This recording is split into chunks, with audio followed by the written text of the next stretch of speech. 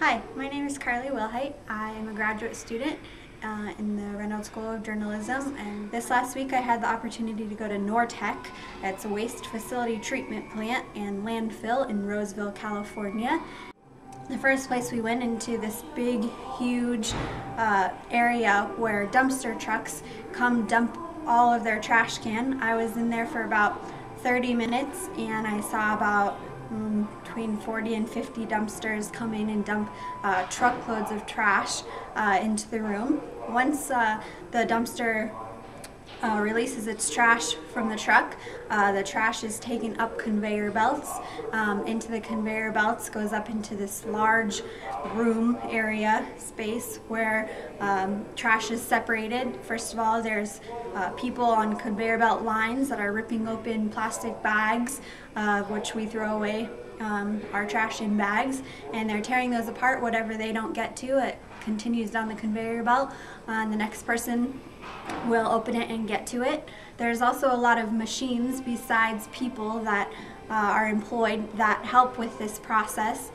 Um, recycles recycles are separated from the trash and from a lot of different machineries.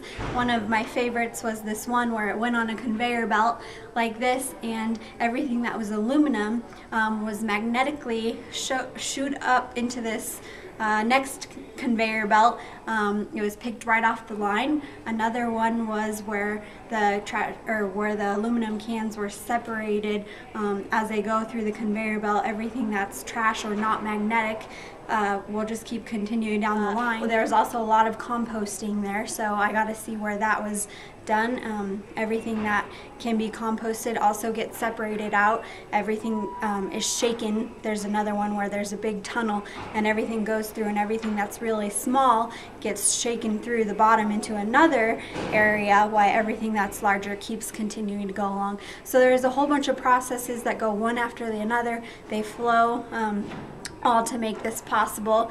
The composting I thought was really interesting.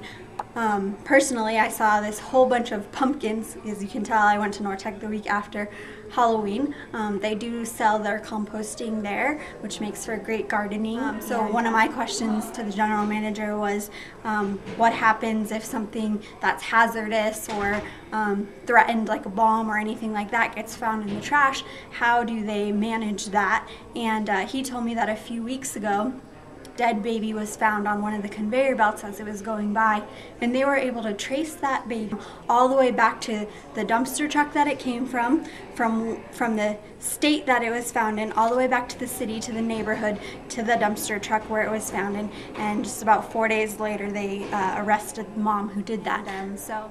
Even though Nortech is privately owned, um, it's operated and funded by the county. Um, and anyways, I advise anybody that gets a chance to go to Nortech. Um, they'd really have a great time.